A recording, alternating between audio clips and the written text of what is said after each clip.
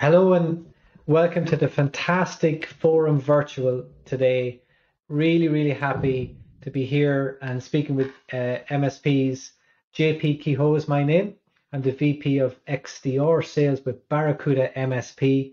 But today we're here at the fantastic forum virtual. What a great format, what a great forum uh, to share some information and, and share some knowledge.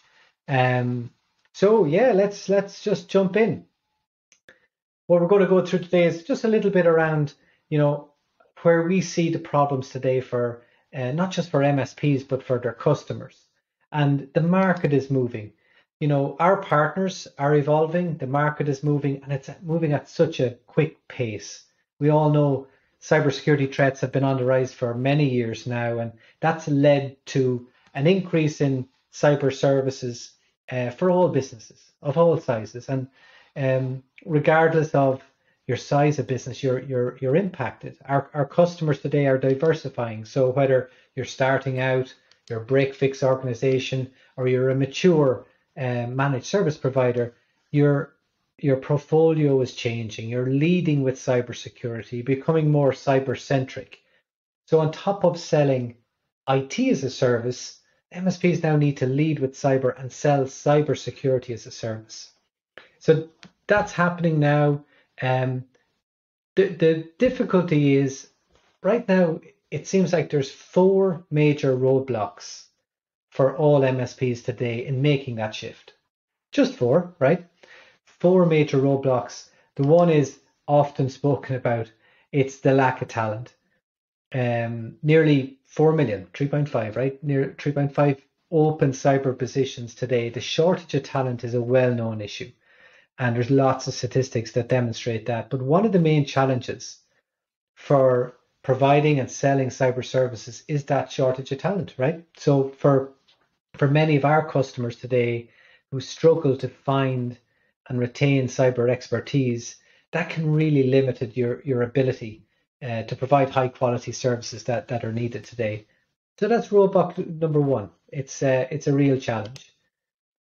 Number two is really falling into two buckets here. One is the ability to understand cyber risk and then the ability to communicate cyber risk.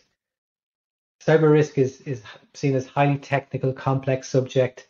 You know, we talked about the lack of talent, uh, but that's needed to understand um, the technical knowledge, understand the requirements around cybersecurity today communicating those cyber risks in a way that's easily understood by non-technical stakeholders can be a, a real challenge.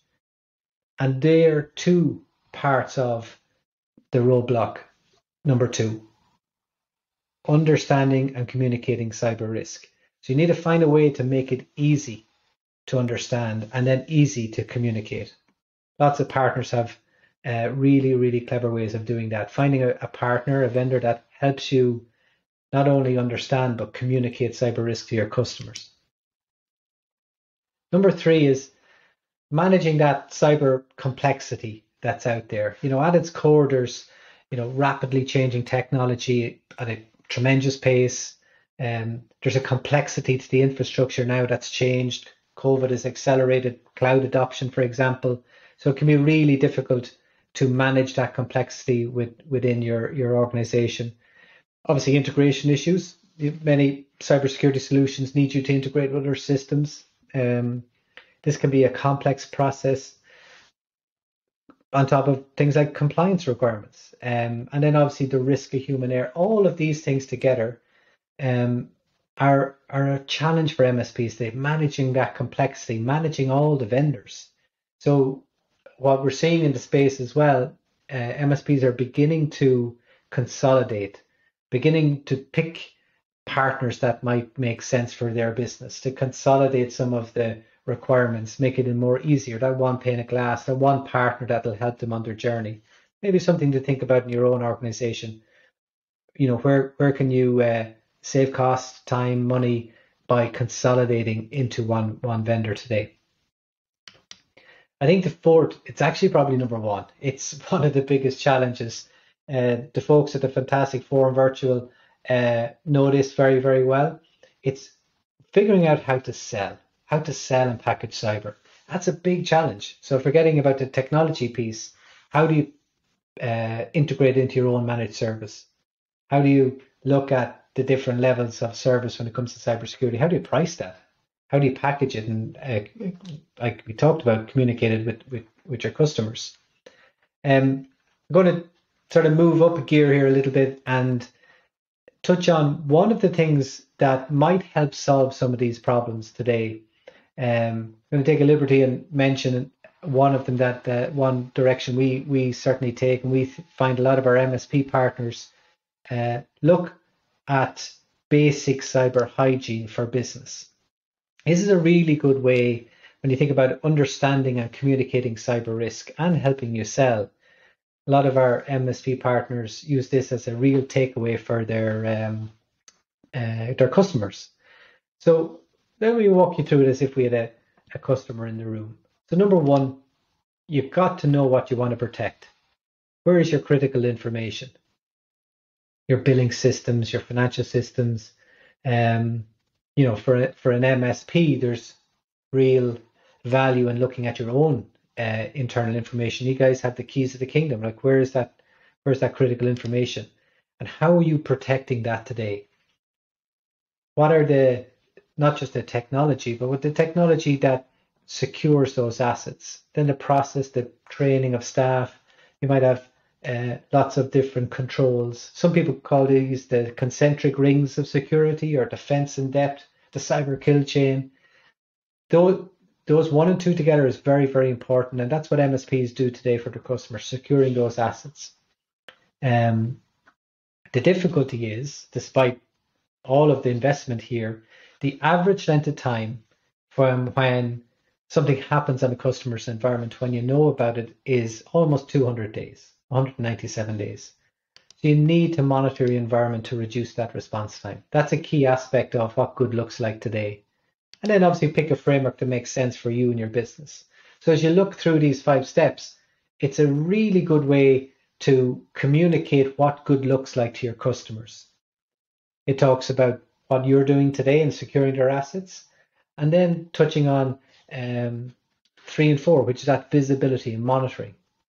Obviously, those on the call would know a lot more about SOC and SIEM and XDR services, but having having this as a uh, bedrock, having this um, uh, type of conversation with the customers really sets them up for, for success and gives a nice roadmap for their investment into your um, uh, business going forward.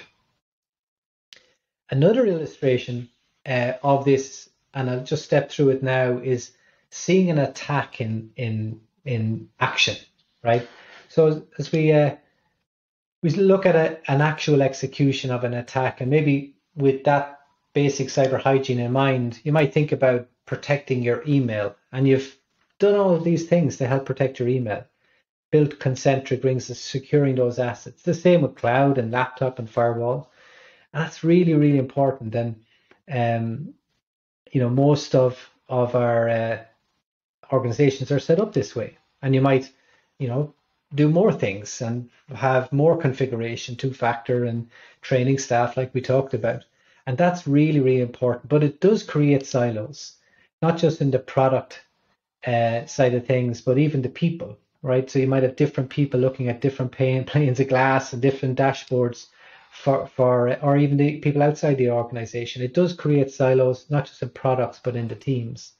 So when something happens, so a laptop gets affected, right? Someone clicks on a link or something gets um, turned off, it can propagate across all of the different services, laptops, firewalls, cloud. You have a problem and it spreads quickly. And you have multiple people in multiple locations with multiple different as- accesses to manage that problem. That that that uh, is an issue during an incident, and you'll hear more about XDR, extending the visibility, so you can detect incidents and then respond quickly. And that ultimately brings it all together. That's the idea of XDR. Bringing all of your telemetry into one place, making sure that you not only have visibility when something happens, So for this case, let's say it's the the endpoint or the laptop, but you can swarm very quickly on that particular issue earlier than you would uh, in normal circumstances, and then remediate much quicker. I've seen this graphic uh, only recently, and it I feel like it really tells a story. Um, it's a helpful way for you also to think about it, but then to communicate it to your customers. This is what good looks like. You need to have it all together, have that basic cyber hygiene in place, and um, and that's ultimately what the um, uh, our security sh- solution should be. Right? There should be complete complete protection across your network and your web applications, and um, and accessible, easy to deploy. Um, at Barracuda, we do a lot of this, obviously, and uh, we can uh, we can help you in many ways. But I'd like to leave you with that really distinct notion that you there's only one uh, uh, that distinct notion that there is one page that gives you the roadmap for any business. So basic cyber hygiene for businesses, for all businesses today. Establish what you want to protect. What are you doing to secure those assets, Mr. Customer? And that's not just good enough today, right? On top of the security your, your assets, it's like your home. You're going to protect your home. You lock your doors and windows. That's what one and two is like. It stops an opportunistic burglar. But you need to have the house alarm. You need to monitor your environment so that when something happens, that control gets breached, like the door breaks open, the firewall gets compromised, somebody logs on to your Office 365 from a suspicious location. You have to know so you can reduce that response time. And then pick a framework that makes sense for your business. So I really want to thank you for taking some time of your date. The fantastic forum virtual is it was great to see uh, it in action. I hope it's uh, been a, an enjoyable experience for everyone that has joined. Um, love to see it happening again and, and anywhere we, we can help. As I said, at Barracuda, we uh, would love to help um, with lots of areas that we just went through in terms of securing your assets. Barracuda can help in that respect. Then obviously that visibility, that XDR solution, extending the visibility, help bolting on a SOC to your business. That's what we do at Barracuda as well um, so that we can we can help you uh, protect your customers. So thank you very much. Have a great day.